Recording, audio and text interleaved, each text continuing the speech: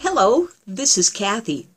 Today I wanted to talk about a really innovative idea that comes out of the Philippines. It is soda bottle lighting.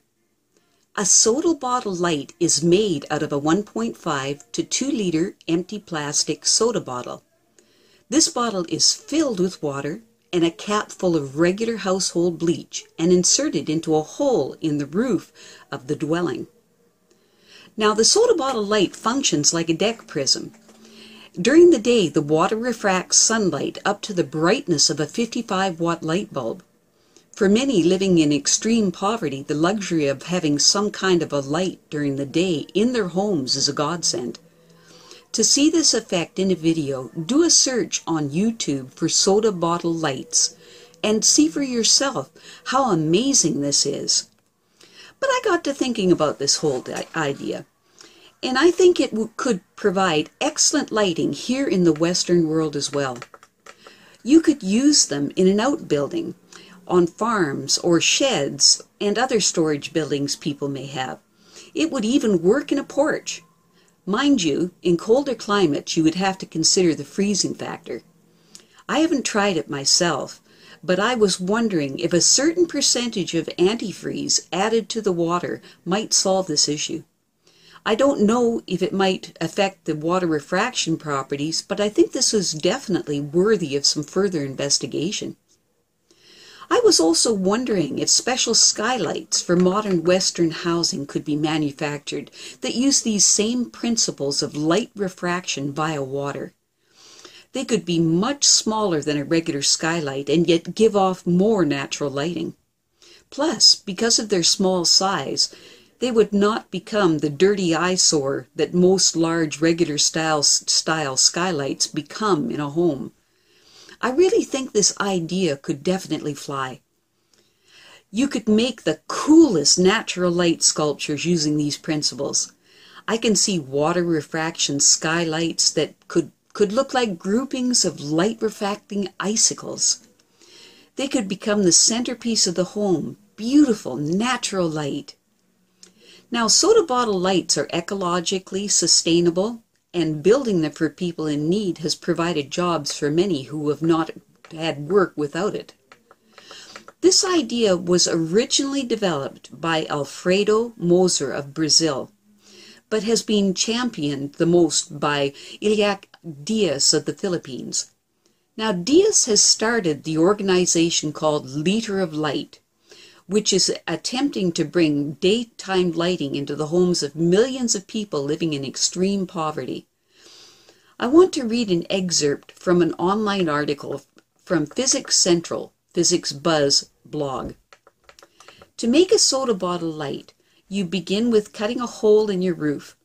This will let some sunlight in. Even a small hole in a darkened room can make a big difference. There are, however, some problems with a simple hole.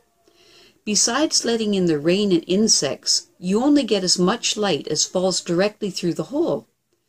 You can do much better than that with some grassroots engineering. Putting a water-filled container in the hole collects much more light due to two fundamental optical effects, Snell's law and the total internal reflection quality. When light moving through the air runs into a denser material, like water, it changes direction. That is, the light beam kinks where it encounters the water surface, so that it's traveling more directly down into water. That's very helpful if you're trying to get more light down through the hole.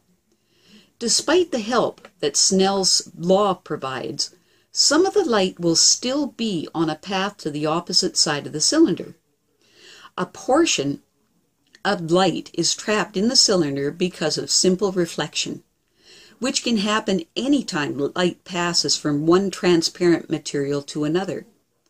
However, during much of the day, the light will strike the cylinder walls in such a way that lots of light will be reflected down toward the hole. This is called total internal reflection. Light reflection this way will bounce back and forth as it travels down through the water column, much like signals passing through an optical cable. Once the light is in the room, the bottle offers another major benefit. If you only had a hole or even a small glass window, then sunlight passes straight through and illuminates a spot on the floor or wall.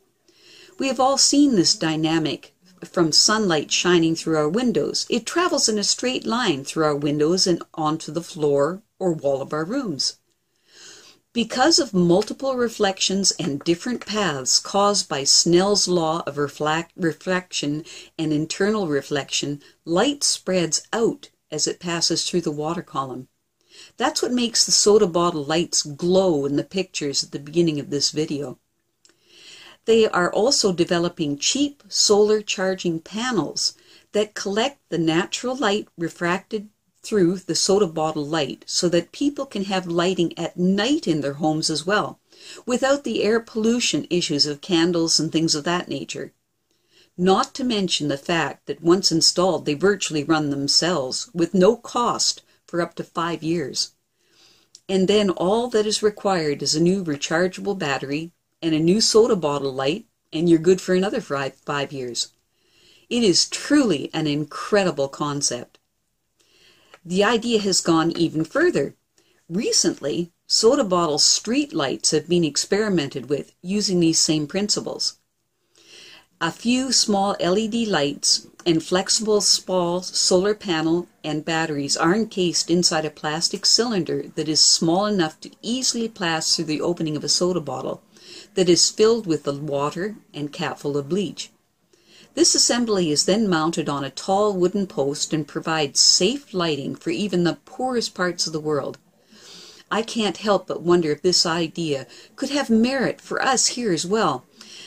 I think this is a great idea that could definitely benefit from additional research. You know, this could also be a wonderful creative medium to explore, to build fantastic light sculptures using these principles that could be used instead of the streetlights we have in today's world. I can even see the concept of using different colored water to get incredible nighttime effects. Can you imagine how beautiful it could be? Can you also visualize the money that could be saved from city budgets? When all is said and done, what a wonderful way to recycle. All in all, it's simple, clever, cheap, and environmentally sound lighting solution. Well, that's it for now. Take care.